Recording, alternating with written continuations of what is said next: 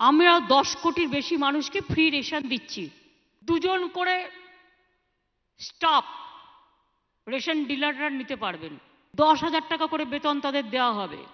পাঁচ হাজার টাকা করে গভর্নমেন্ট দেবে আর পাঁচ হাজার টাকা করে আপনারা দেবেন। সেপ্টেম্বরে চালু হয়েছিল পাইলট প্রজেক্ট এবার রাজ্যে চালু হলো দুয়ারে রেশন কিন্তু জট কাটল কি? সেই প্রশ্ন থেকেই গেল। এদিন নেতাজি ইন্ডোর স্টেডিয়ামে আনুষ্ঠানিকভাবে প্রকল্পের সূচনা করেন মুখ্যমন্ত্রী। সেই সঙ্গে তিনি ঘোষণা করেন, কুইন্টাল প্রতি কমিশন পঁচাত্তর টাকা থেকে বাড়িয়ে একশো পঞ্চাশ টাকা করা হয়েছে। বাড়ি বাড়ি রেশন পৌঁছে দিতে গাড়ি কেনার জন্য ডিলারকে এক লক্ষ টাকা ভর্তুকি দেবে রাজ্য সরকার। গ্রাহকদের বাড়ির কাছে রেশন পৌঁছে দেওয়ার জন্য দুজন লোক নিয়োগ করতে পারবেন ডিলাররা। দুজন কর্মীর অর্ধেক মাইনে দেবে রাজ্য, অর্ধেক দেবেন ডিলাররা। দুয়ারে রেশন দেওয়ার জন্য একুশ হাজার গাড়ি কেনা হবে। পাঁচশো মিটার দূরে দূরে দুয়ারে রেশনের গাড়ি দাঁড়াবে। গ্রাহকরা এসে সেখান থেকে রেশন সামগ্রী নেবেন।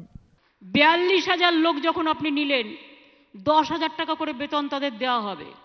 পাঁচ হাজার টাকা করে গভর্নমেন্ট দেবে আর পাঁচ হাজার টাকা করে আপনারা দেবেন। এতে আমার আরও একশো ষাট কোটি টাকা বেশি লাগবে। কিন্তু আমি মনে করি এতে বিয়াল্লিশ হাজার ছেলে মেয়ে, লোকাল ছেলেমেয়েরা কাজের সুযোগও পাবে। এদিন মুখ্যমন্ত্রীর আগে বক্তব্য রাখেন বিভিন্ন রেশন ডিলার অ্যাসোসিয়েশনের কর্তারা। তখনই বেশ কিছু দাবি দেওয়ার কথা জানান তাঁরা। এরপরেই তাদের নিয়ে মঞ্চে দীর্ঘক্ষণ বৈঠক করেন মুখ্যমন্ত্রী। উপস্থিত ছিলেন খাদ্যমন্ত্রী খাদ্য সচিবরা বৈঠকের পর বক্তব্য রাখতে ওঠেন মমতা বন্দ্যোপাধ্যায়।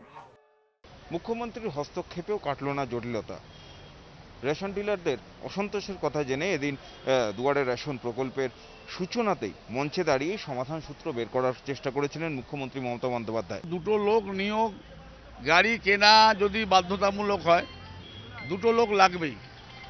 এবং এই দুটো লোক আমাদের পক্ষে এই আমাদের যে রোজগার আজকের দিনে সেই রোজগারে আমরা অতিরিক্ত খরচ করার কোনো সুযোগ নেই। আমি একজন ডিলার হলে দুশো কুইন্টাল যদি মাল পাই ও মাসে তো তিরিশ হাজার টাকা কমিশন পাবে আমি দেড়শো টাকাই তো নিয়ে নিলাম। তো দশ হাজার টাকা তো আমাদের লেবারকে দিতে লাগছে। ড্রাইভার আছে খালাসি আছে গাড়ি লানলোড আর রয়েছে। বিরোধীদের দুয়ারে রেশন প্রশ্ন আচ্ছা দেখা যাক কি হয়। একটু দেখে শুনে একেবারে গ্রামে মানুষের প্রতিক্রিয়া রেশন তো সামলায় মায়েরা দিদিরা বোনেরা।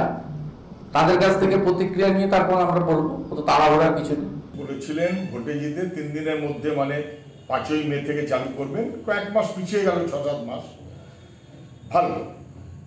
আমরা যে চেয়েছিলাম যখন লকডাউন তখন মানুষের কাছে পৌঁছে দেওয়া, যেটা কেরালা করল।